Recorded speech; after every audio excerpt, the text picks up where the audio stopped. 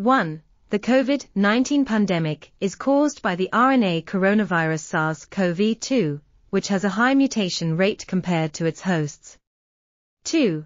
The mutagenic capability of SARS-CoV-2 depends on several factors, including the fidelity of viral enzymes that replicate nucleic acids, such as the RNA-dependent RNA polymerase, RODRP.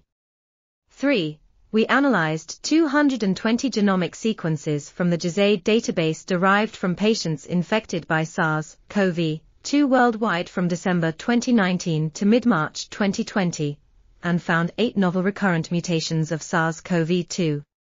4 mutations in positions 2891, 3036, 14408, 23403, and 28,881 are predominantly observed in Europe, while those located at positions 17746, 17857, and 18,060 are exclusively present in North America.